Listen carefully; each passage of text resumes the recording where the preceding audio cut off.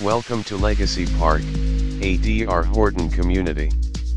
Enjoy the comfort achieved in utilizing every square foot of our one-story, three-bedroom, two-bathroom home with two-car garage.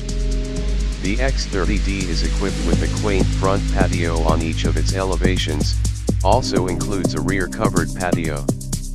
The dining area and family room are conveniently located next to the kitchen, with its island for entertaining and spacious pantry for needed storage, making this an easy setup to navigate for the chef in you.